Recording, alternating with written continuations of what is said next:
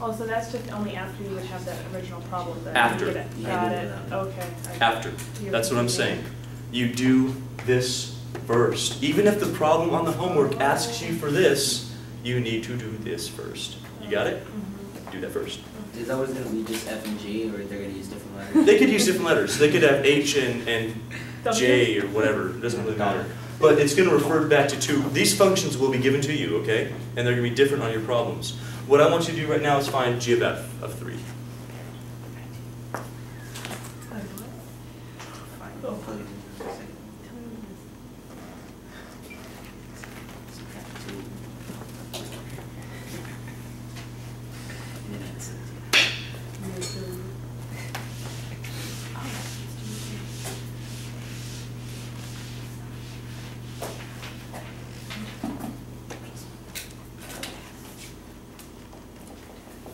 Three squares, nine, nine times two is eighteen, eighteen plus one is nineteen. Oh, it is eighteen. Oh, no.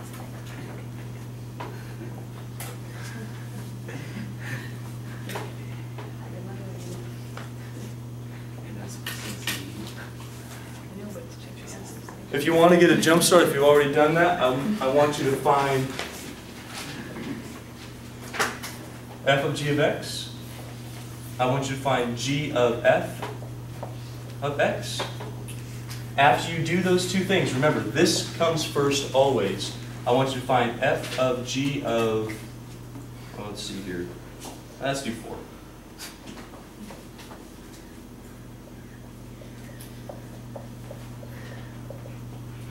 And g of f of 4.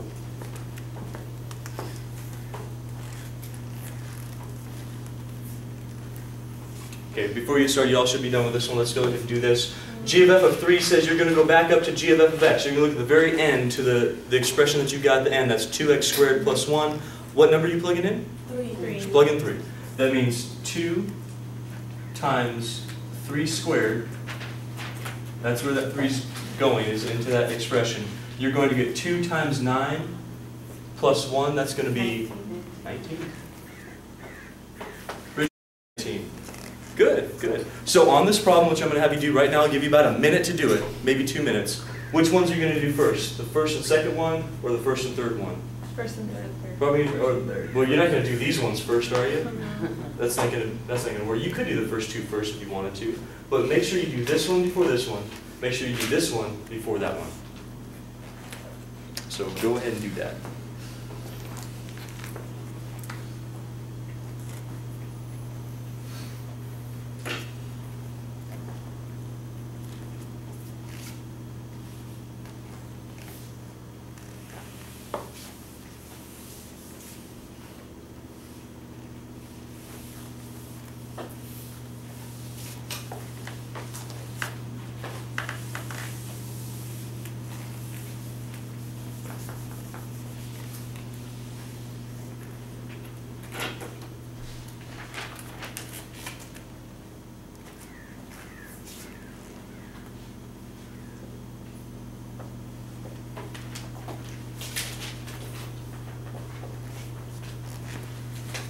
That if you want to try your hand at this, if you're done with that quickly, go ahead and try that one. We're going to do f of g of x and g of f of x together in just a moment. I don't want any, no, you don't plug in numbers.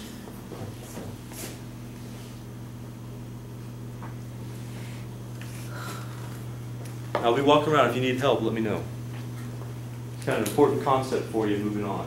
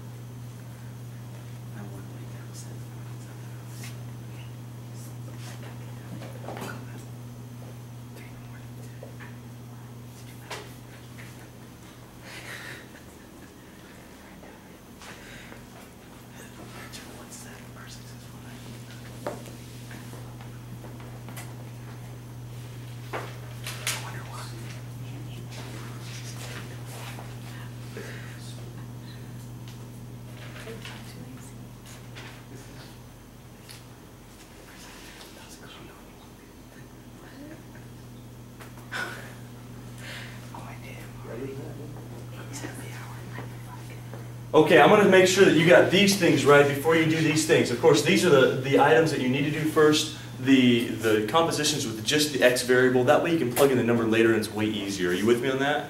So let's go ahead and see if you got this, this done correctly. So, can you all tell me what goes inside this particular parentheses? Three x minus five. Good. It's referring back to g of x, 3x minus 5. The only le- letter left on our problem is f. So you're looking back at f. You're reading that in your head or reading it aloud. You got x squared plus 1, right? x squared plus 1, x squared plus 1, hmm. parentheses squared plus 1. Did you write parentheses squared plus 1? Yes. Are you seeing where that's coming from? Mm-hmm. Parentheses squared, parentheses squared plus 1. Why am I going to f? Why am I going there? Because you gotta write the F function out.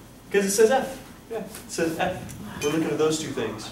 So you're looking here, F says parentheses squared plus 1. I've written that out. What goes inside that parentheses? What was it? Whatever's in this parentheses goes in whatever parentheses you have left. I want to see how many people got that one, got that one right.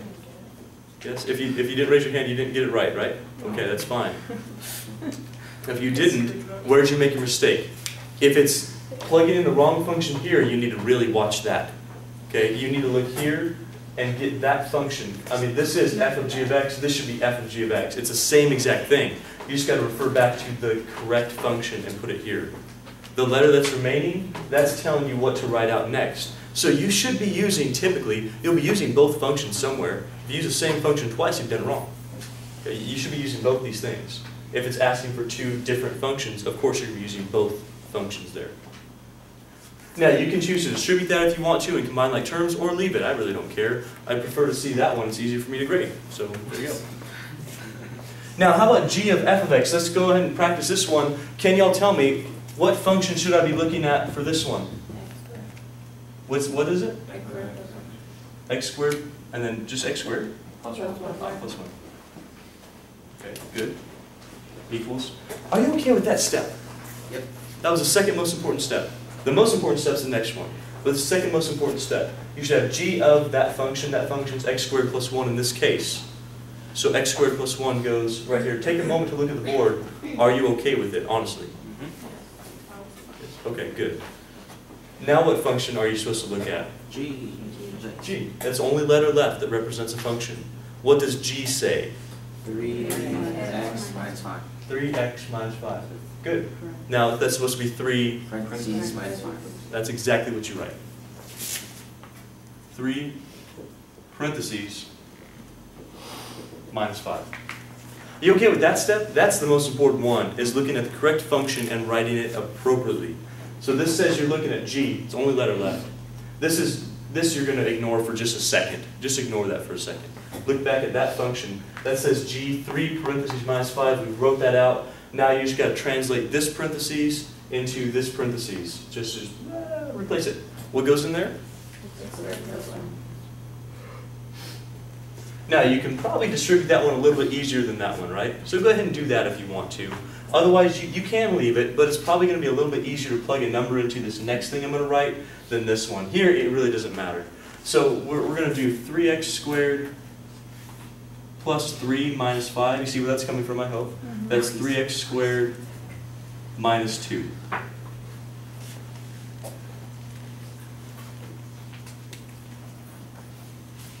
Now, what's the 4 have you do? What's this one mean? Plug it into. Plug it into this one? No, Or the, no, this is the one that says F of G. Now just take that, plug into 4, so we're going to get 3 times 4 minus 5, all squared, and then plus 1. We're just taking that value of 4 and inserting it into the function that you just, just figured out. How much is that all going to be, please? Seven? 7? Oh, um, forty-nine. 49? 50. It's 50? It ends up being fifty. It's forty-nine plus one is fifty. Sorry, It's okay. It's all good. it's early still. 12 minus 5, 7, 40. Okay, 50. Cool. Did you get 50? yeah. Next one says, take that 4, insert it into this function. That's 3, e- e- either way, it's going to work out correct for you, okay, whatever form you leave it in. 3 times 4 squared minus 2, how much do you get out of that? Forty-six.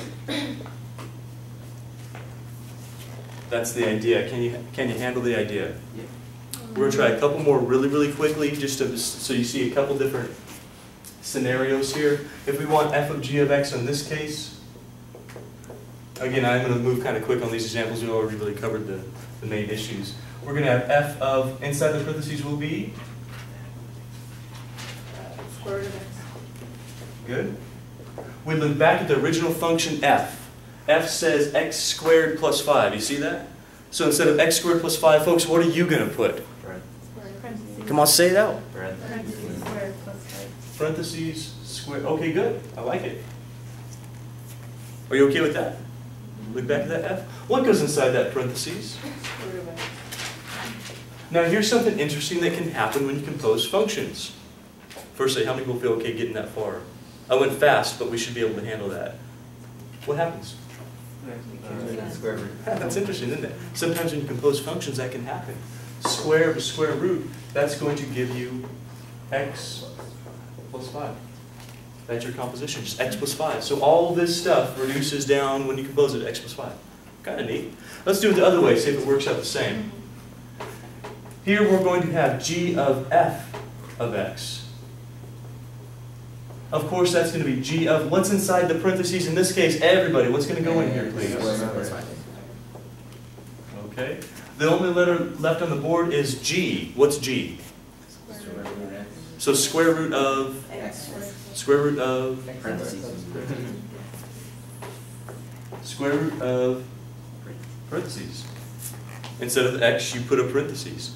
What goes in that parentheses? X squared plus five.